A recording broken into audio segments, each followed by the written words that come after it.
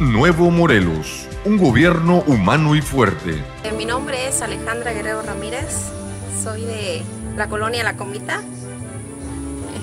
Este, antes era una colonia muy oscura, este, los niños tenían mucha calor, este, lloraban mucho en la noche, pues uno hacía lo que podía, ¿verdad? Con un cartón le, le echaba aire en las noches y este pues como quiera pues a uno a veces le ganaba el sueño y se quedaba dormido y pues ellos se levantaban llorando que tenían mucha calor.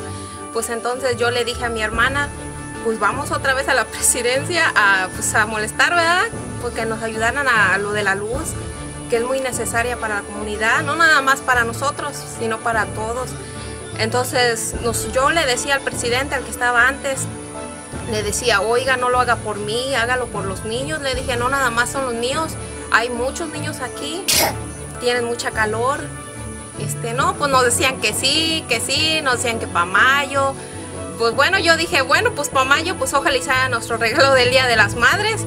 No, pues se pasaba mayo, junio, julio, y íbamos, le decía a mi hermana, vamos otra vez.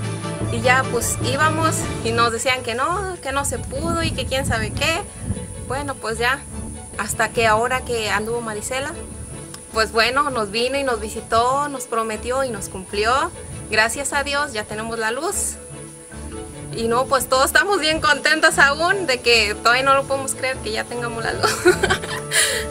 pues de completo, mucho, porque ahora pues ya tenemos la luz, ya no, los niños ya no lloran, ya no tienen calor ya este, pues vemos tele, ellos ven las caricaturas, ya no nos reclaman porque pues ya tienen la luz. Ellos lo que querían era pues, ser como los demás niños de que todos en vacaciones estaban bien aburridos porque no tenían pues para ver, ¿verdad?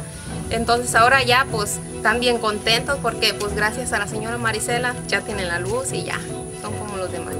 yo, Alejandra, este, le doy las gracias al señor gobernador porque si no fuera por él, pues esto tampoco sería posible. Y también le doy las gracias a la señora Marisela porque también si no fuera por ella que estuvo también allá al señor gobernador, ajá, este, esto no se hubiera hecho posible. Y a su representante también, que también anduvo ahí echándonos la mano. Le doy las gracias, eso es todo. Primer informe de gobierno. Nuevo Morelos, un gobierno humano y fuerte.